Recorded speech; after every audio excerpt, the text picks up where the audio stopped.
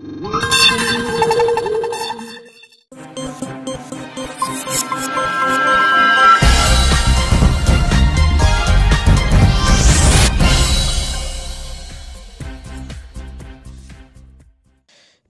আসন্ন ইন্দুরকানী উপজেলা কেন্দ্রীয় সমবায় সমিতি লিমিটেড এবং ব্যবস্থাপনা পরিষদ নির্বাচন দু হাজার উনিশ অনুষ্ঠিত হয়েছে।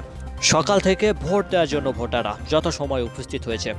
সমবায় সমিতি লিমিটেড ব্যবস্থাপনা পরিষদে সভাপতি পদপ্রার্থী হিসেবে মোহাম্মদ ফরিদ হোসেন ছাতা মার্কায়। না আপনাকে ধন্যবাদ। এখন পর্যন্ত এই ধরনের কোনো অভিযোগ আসে নাই। এখন পর্যন্ত সুন্দর সুষ্ঠু পরিবেশে নির্বাচন হচ্ছে এবং এই নির্বাচন কমিশনার সহকারী যারা আছেন এবং আইনশৃঙ্খলা বাহিনীর মাধ্যমে এখন পর্যন্ত আমি যা দেখছি খুব সুন্দর। কিন্তু আমি আশা করছি রেজাল্ট পর্যন্ত একেবারে শেষ পর্যন্ত আমি এরকম একটা পরিবেশ চাই। এবং সভাপতি পদপ্রার্থী হিসেবে মোহাম্মদ শাহিন হোসেন চেয়ার মার্কায় প্রতিদ্বন্দ্বিতা করেন। নির্বাচনটা সুষ্ঠু, সুন্দর এবং অত্যন্ত নির্মল পরিবেশে অনুষ্ঠিত হচ্ছে। ভোট সকাল এগারোটা থেকে ভোট শুরু হয়েছে। ভোটের কার্যক্রম একটানা চলছে এবং সার্বক্ষণিক আমি এখানে উপস্থিত ছিলাম এবং বসেও আছি এখনও আমাদের এখন আর মাত্র ছয়টা ভোট বাকি আছে। যে আমরা এখানে নির্বাচন যেভাবে নিচ্ছি তাতে আমাদের সার্বিকভাবে উপজেলা চেয়ারম্যান মহোদয় এবং উপজেলা নির্বাহী অফিসার মহোদয় আমাদেরকে সার্বিক আইন শৃঙ্খলা এবং সার্বিক দিকে হান্ড্রেড পার্সেন্ট সহযোগিতা দিচ্ছেন এবং আমাদের এখানে কোনো বিশৃঙ্খলার কোনো সুযোগ নেই। নির্বাচন সম্পর্কে ইন্দুরকানী উপজেলার নির্বাহী অফিসার হুসাইন মোহাম্মদ আল মুজাহিদ বলেন। পূর্ণ আনন্দ ঘন পরিবেশে অনুষ্ঠিত হচ্ছে। এখানে আমরা ব্যাপক ভোটার যারা আছেন তাদের উপস্থিতি লক্ষ্য করছি এবং এখানে কোনো ধরনের কোনো অপ্রীতিকর ঘটনার কোনো সম্ভাবনা নেই। আইন শৃঙ্খলা বাহিনী এখানে মোতায়েন করা আছে।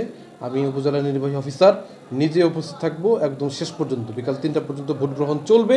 ভোট গ্রহণ শেষ হওয়ার পর আমরা ভোট গণনা করে ফলাফল ঘোষণা করে তারপরে আমাদের কার্যক্রম শেষ করব।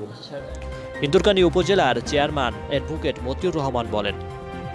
এবং আমরা আমাদের উপজেলার নির্বাহী অফিসার মহোদয়কে নিয়ে আমরা সার্বিকভাবে সুষ্ঠু পরিবেশ যাতে বজায় থাকে, আইনশৃঙ্খলা বাহিনী তা, তাদেরকে নিয়ে আমরা সুষ্ঠু পরিবেশ বজায় রাখতে সক্ষম হয়েছি।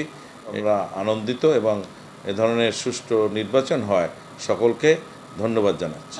নির্বাচনে সকাল থেকে প্রশাসনের কঠোর নিরাপত্তাটি ছিল চোখে পড়ার মতো।